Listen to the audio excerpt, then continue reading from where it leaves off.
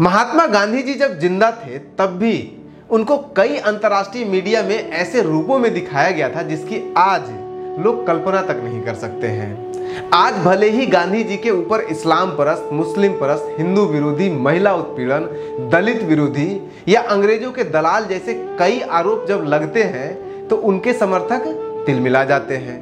लेकिन 1930 और 1940 के दशक के दौरान अलग अलग अंतर्राष्ट्रीय अखबारों में पत्र पत्रिकाओं में भी गांधी जी को तानाशाह से लेकर के मूर्ख, बेवकूफ़ कंफ्यूज्ड नंगा फकीर और न जाने क्या क्या बोल दिया गया था।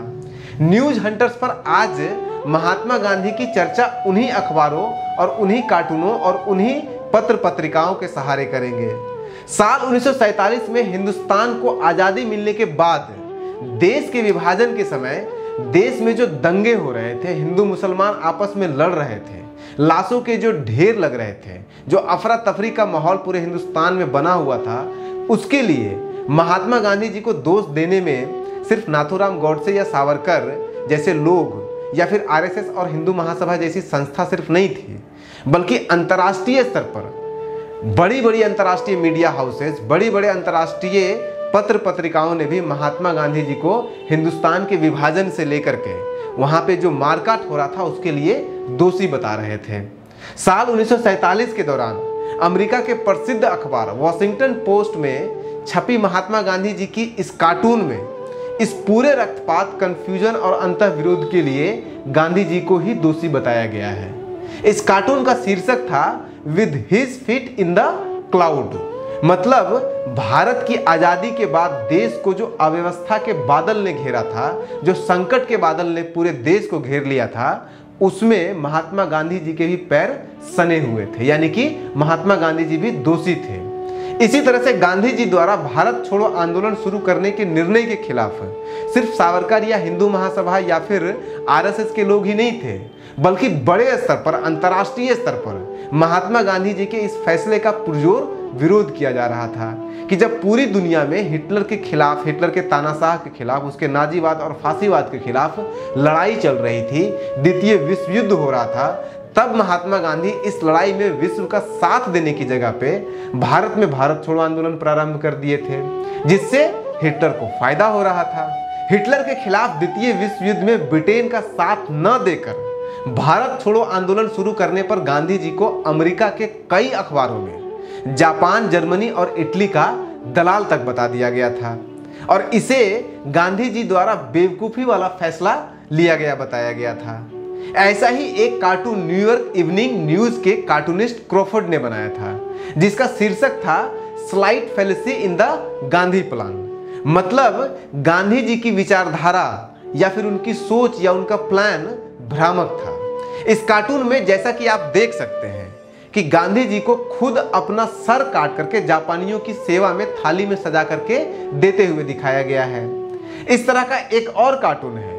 साल 1942 में ही न्यूयॉर्क हर्डल ट्रिब्यून में छपा था ये, जिसे जे एन डिंग ने बनाया था। और जैसा कि आप देख सकते हैं कि इस कार्टून में भी यह दिखाया गया है कि गांधी जी द्वारा द्वितीय विश्व युद्ध के दौरान हिटलर के खिलाफ ब्रिटेन का साथ नहीं देने का फैसला, बेवकूफ़ी वाला फैसला था।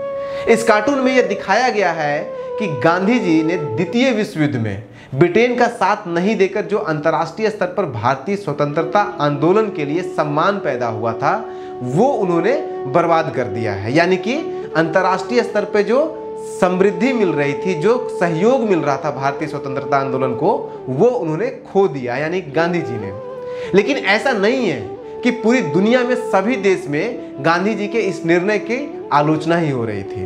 क्योंकि द्वितीय विश्व युद्ध में ब्रिटेन का साथ देने की जगह भारत में भारत छोड़ो आंदोलन शुरू करने के फैसले का दक्षिण अफ्रीका में गांधी जी को साथ मिल रहा था। दक्षिण अफ्रीका में गांधी जी के इस निर्णय की आलोचना नहीं हो रही थी, बल्कि दक्षिण अफ्रीका में ब्रिटिश सरकार की आलोचना हो रही थी कि जैसे ही गांधी जी ने भारत छोड़ो आंदोलन की घोषणा किया, वैसे ही उन्हें, यानी कि गांधी जी को और कांग्रेस के अन्य शीर्ष नेताओं को ब्रिटिश सरकार ने गिरफ़्तार करके जेल में डाल दिया था। दक्षिण अफ्रीका के एम्स्टर्डम स्टार न्यूज़ में 1942 में छपी यह कार्टून यही दर्शा रही है। चाहे गांधी जी की आलोचना करें या उनकी तारीफों के पुल बांधे, लेकिन इस बात से कोई इनकार नहीं कर सकता है कि 1930 और 1940 के दशक के दौरान महात्मा गांधी अपने आप में एक विश्व शक्ति थे।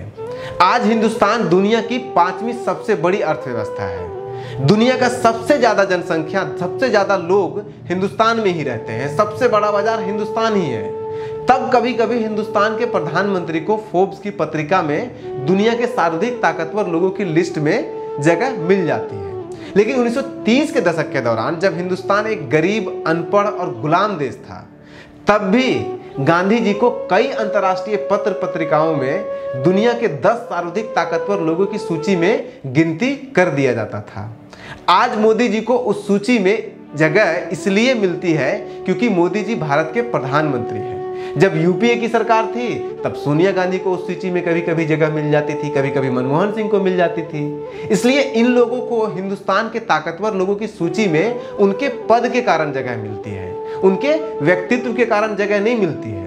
लेकिन महात्मा गांधी के पास उस समय न तो कोई पद था और न ही हिंदुस्तान उस समय आज़ाद मुल्क था। हिंदुस्तान तो उस समय गुलाम मुल्क था। इसलिए महात्मा गांधी जी को जो वो सूची में जगह मिलती थी, वो सिर्फ़ और सिर्फ़ उनके व्यक्तित्व के कारण मिलती थी। साल 1935 में लंदन से छपने वाली पत्रिका रिव्यू ऑफ़ द रिव्यूज़ में कार्टूनिस्ट हैरिसन ने दुनिया के 10 प्रभावशाली व्यक्तियों का एक कार्टून बनाया जो आप देख सकते हैं। इस सूची में पहले पायदान पर हिटलर के साथ अमेरिका के राष्ट्रपति रूजवेल्ट थे, लेकिन दूसरे पायदान पर महात्मा गांधी ही थे। इस रैंकिंग में जिस ब्रिटेन ने हिंदुस्तान को गुलाम बन रखा, बना रखा था, उस ब्रिटेन के प्रधानमंत्री तीसरे नंबर पे थे, यानी कि गांधी जी से नीचे थे। उस दौर में ब्रिटेन के नेता महात्मा गांधी से कितने डरते थे, इसका अंदाज़ा आप इस बात से लगा सकते हैं कि जब महात्मा गांधी 1932 में द्वितीय गोलमेज सम्मेलन करने के बाद लंदन से वापस आ रहे थे तो एक अमेरिकी पत्रिका, पोस्ट डिस्पैच में एक कार्टून छपा। कार्टूनिस्ट पैट्रिक ने महात्मा गांधी का ये जो कार्टून छापा, जिसमें महात्मा गांधी को भूत के रूप में दिखाया गया था, और उस कार्टून का शीर्षक था अ घोस्ट गोज होम मतलब भूत अब घर जा रहा है, वापस हिंदुस्तान जा रहा है। उस दौर में महात्मा गांधी वो व्यक्तित्व थे जो ब्रिटेन के राजा के आँख में आँख डाल करके बोलते थे कि महाराज, हमारे सारे कपड़े तो आपने चुरा करके पहन लिया है, मैं इस धोती से ज़्यादा और क्या पहन सकता हूँ? इसी तरह साल 1942 में लाइफ पत्रिका में ब्रूट आर टॉमस द्वारा बनाए गए एक कार्टून में हिटलर, मुसलिनी और फ्रैंको जैसे तानाशाह हिंदुस्तान के महात्मा गांधी को सलामी देते हुए दिखाए गए हैं। दरअसल उस दौर में कई अंतर्राष्ट्रीय मीडिया में ऐसे खबर और कार्टून छपे थे, जिसमें हिटलर जैसे तानाशाह गांधी जी को उकसा रहे थे कि गांधी जी ब्रिटेन के खिलाफ भारत में स्वतंत्रता आंदोलन को और तेज कर दें, ताकि हिटलर को इससे फ़ायदा हो। और हिटलर जैसे तानाशाह गांधी जी द्वारा द्वितीय विश्व युद्ध में ब्रिटेन को मदद नहीं करने के फैसले से खुश थे। ऐसा ही एक और कार्टून पीटर्सबर्ग न्यूज़ में 1942 में ही छपा था, जिसमें हिटलर द्वारा महात्मा गांधी को उकसाते हुए दिखाया गया है। इस कार्टून का शीर्षक था, हु इज़ चार्मिंग हुम मतलब कि महात्मा गांधी हिटलर को चार्म कर रहे हैं, या फिर हिटलर महात्मा गांधी को चार्म कर रहा है। इसी तरह से न्यूजीलैंड से छपने वाली पत्रिका ऑकलैंड स्टार में कार्टूनिस्ट जेसी हिल ने द शर्ट्स एंड शर्टलेस शीर्षक से साल 1931 में एक कार्टून छापा था, जिसमें दिखाया था कि कैसे हिटलर, स्टालिन, मुसलिनी जैसे उस दौर के सबसे ज़्यादा सर्वशक्तिशाली तानाशाह महात्मा गांधी और उनके व्यक्तित्व के सामने बौने दिख रहे थे। उस दौर में महात्मा गांधी वो व्यक्तित्व थे, जो इटली के तानाशाह की आँख में आँख डालकर कहते थे, आप जो महल बना रहे हैं, वो कागज़ का है, ताश के पत्ते की तरह गिर जाएगा। हिंदुस्तान में गांधी के स्वदेशी आंदोलन को हिंदुस्तान में राष्ट्रवाद के साथ जोड़ करके देखा जा रहा था। लेकिन अमेरिकी प्रेस में गांधी जी के स्वदेशी आंदोलन को बिज़नेस की नज़र से देखा जा रहा था।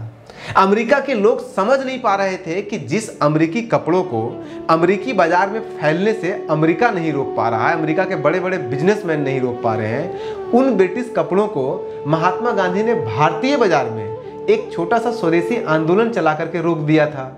ये कार्टून साल 1930 में पंच पत्रिका में छपा था, जिसमें अमेरिकी उद्योगपति महात्मा गांधी से बिज़नेस के पाठ पढ़ाने का आग्रह कर रहे हैं। इस कार्टून का शीर्षक है, how America saw Gandhi passive resistance और इस कार्टून में गांधी जी को बहुत बड़ा बाइंग पावर वाला व्यक्ति दर्शाया गया है। यानी कि वो व्यक्ति जो उद्योगपतियों से बहुत सारे माल बिकवा सकता है।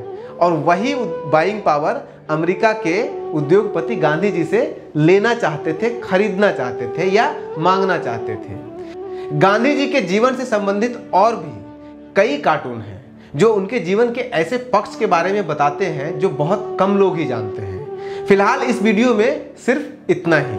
नमस्कार।